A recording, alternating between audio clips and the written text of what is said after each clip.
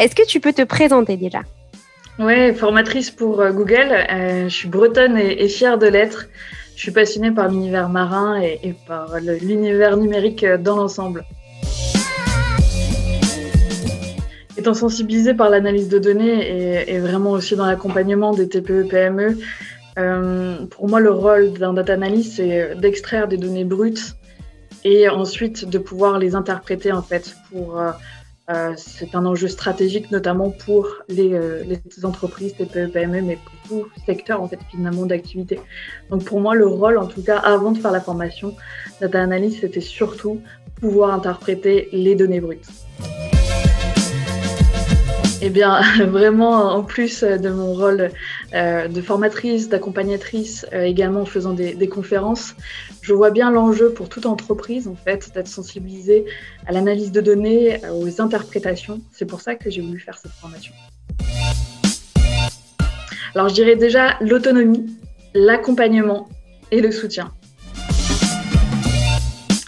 J'attendais vraiment de l'autonomie, c'est pour ça que j'ai suivi la formation en, continu, c'est-à-dire qu'en parallèle de mon métier, je faisais la formation euh, pour être euh, data analyst. Donc c'est vrai que euh, j'ai été très bien accompagnée. En parallèle, on avait des certifications, donc c'était vraiment des formations en continu.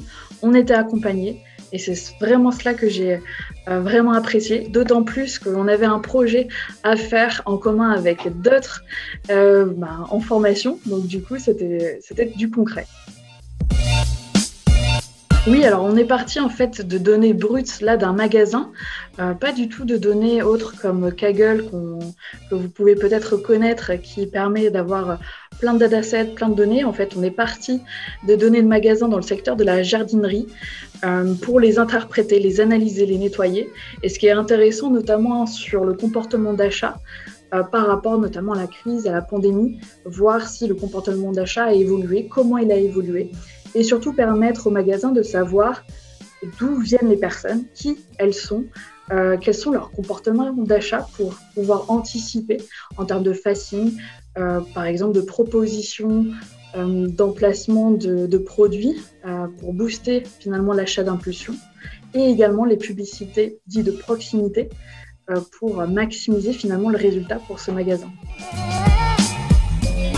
Oui, alors on est en fait on est accompagné par un chef de cohorte. Moi c'était Raphaël, donc un petit bonjour à Raphaël. Lara également pour le projet en commun, pour suivre en fait toutes les étapes, pour nous guider également.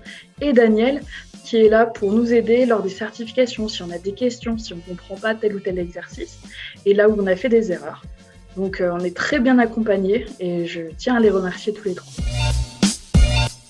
Oui, alors surtout, surtout, il faut poser des questions. Moi, ma première erreur, c'était euh, de vouloir réussir à tout prix sans poser de questions. Mais c'est très libératoire, justement, de poser des questions, soit à Raphaël ou à Daniel. Donc,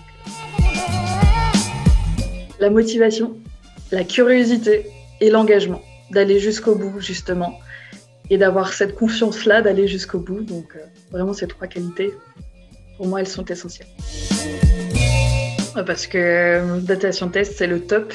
Euh, c'est vrai, il n'y a rien à dire euh, entre l'accompagnement, euh, même la bonne humeur, l'état d'esprit finalement des, personnes qui s'occupent de la pédagogie. donc vraiment, je recommande à fond Data Scientist. J'ai fait la formation continue, j'ai entendu que du bon aussi sur les bootcamps. Donc allez-y les yeux fermés.